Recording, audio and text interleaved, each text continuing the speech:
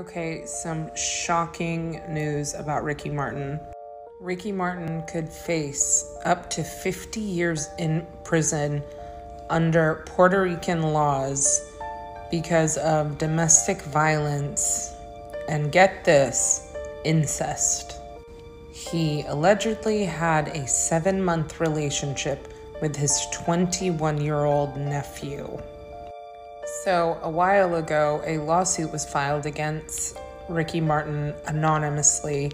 And because he kept on denying the allegations, Ricky Martin's brother came forward and released that the allegations and the lawsuit was filed from his 21 year old son.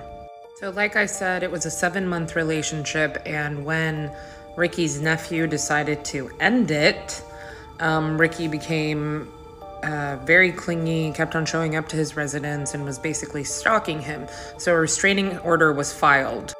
Then the lawsuit was filed with the domestic violence allegations and um, the physical and emotional abuse. And now, Ricky Martin, like I said at the beginning of the video, is, if accused, could spend up to 50 years in prison. So, the name of his nephew has been released. I just don't feel okay repeating it in the video. If you want to find out more about it, of course, it's all over the internet right now.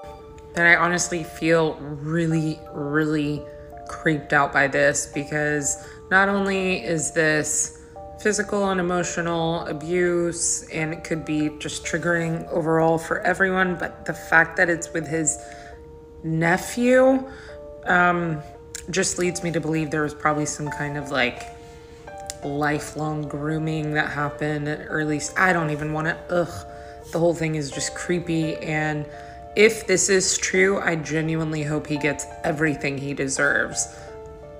50 plus, go for it. Like, but if it's if it is just a rumor and then it is proven that this has never happened and this is all just a grab at Ricky, then I don't know where to put this at. I just this me these kinds of things leave me feeling like ugh, on the inside. So yeah, what do you think? Um, if you've heard anything else, please let me know in the comments.